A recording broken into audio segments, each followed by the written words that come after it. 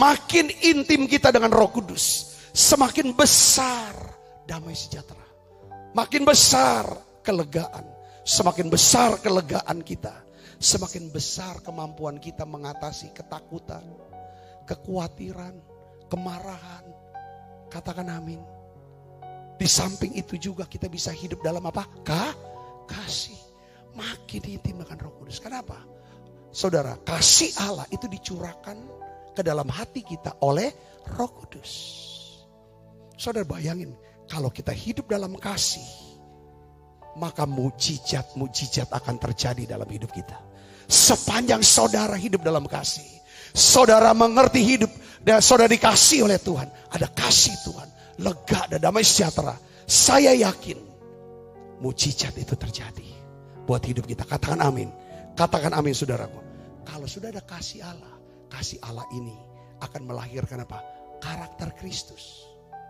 Kalau kita semua dipenuhi dengan kasih Tuhan, pasti kita punya karakter Kristus yang apa? Rendah hati, humility, tulus atau suci hati, integrity. Kita punya integritas. Dan kita pasti akan murah, murah hati. Katakan amin. Saya akan tutup dengan kata begini. Apa ukuran seseorang? Saudara bisa tanya sama diri saudara. Apa ukuran atau tanda keintiman? Apakah saya ini dekat gak sama Tuhan?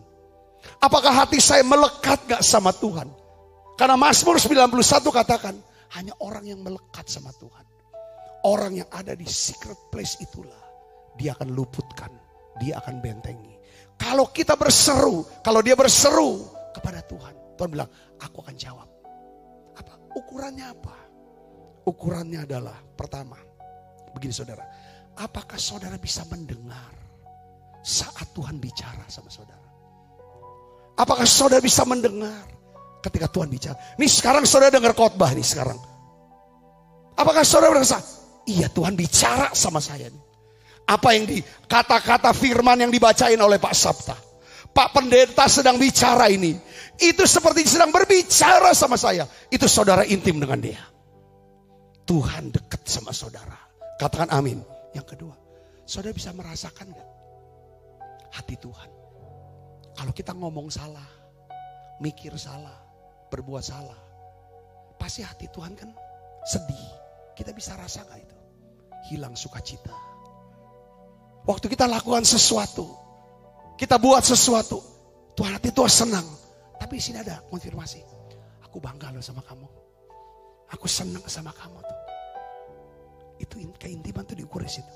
Yang ketiga, saudara bisa nggak rasakan kehangatan hadirat? Apakah saudara seorang yang mudah masuk ke hadirat Tuhan? Itu keintiman. Orang yang mudah masuk ke hadirat Tuhan. Pasti orang yang punya hati. Mudah bersyukur mudah kagum sama Tuhan. Karena ada rasa kagum, rasa syukur. Baru kita bisa nyembah. Dengan kita nyembah, kita bisa masuk hadirat Tuhan. Yang ngerti katakan amin. Saudara mau gak intim sama Tuhan? Keintiman butuh 3T. Butuh 3T. Pertama butuh apa? Waktu. Saudara harus punya waktu khusus. Bukan waktu sisa-sisa. Kalau ada waktu-waktu ya. Saudara punya waktu khusus. Siapkan waktu itu. Untuk dia. Hari Minggu siapkan waktu untuk ibadah. Walaupun saudara nggak bisa datang ke gereja. Benar-benar ibadah online pakai baju yang rapi. Mandi. Bersih-bersih. Saudara nggak mau diganggu dalam tempo 70 menit itu. 75 menit itu. Saudara sungguh-sungguh. Mau anjing jerit-jerit begitu kita tetap diam. Di depan gadget. Harus ada waktu. Saudara harus bisa bicara sama Tuhan. Biarkan Tuhan bicara sama saudara. Saudara harus bisa mempercayai itu. Itu tiga hal. Keintiman tentu adalah tiga T. Time, talk, dan trust. Ya. Terus yang pertanyaannya adalah, kita mau nggak dekat sama Tuhan? Kalau mau, putuskan. Siapin waktu. Bicara sama dia. Percaya sama dia. Disiplinkan. Saudara harus ada waktunya harus sama. Tempatnya harus sama. Saya pastikan itu. Waktunya harus sama, tempatnya sama. Waktunya kalau pagi jam sekian, sampai sekian. Nanti sore jam sekian, sekian. Tempatnya di situ. Saya harus di situ. Gak bisa. Kalau saudara saya berdoa. Saudaraku, ketika saudara makin dekat dengan dia, saya akan lihat perlindungan Tuhan. Mujizat terjadi dalam hidup saudara. Karakter kita diubahkan. Kita hidup penuh kasih, ada karakter Kristus. Humility, integrity, generosity. Saudara diberkati pesan hari ini.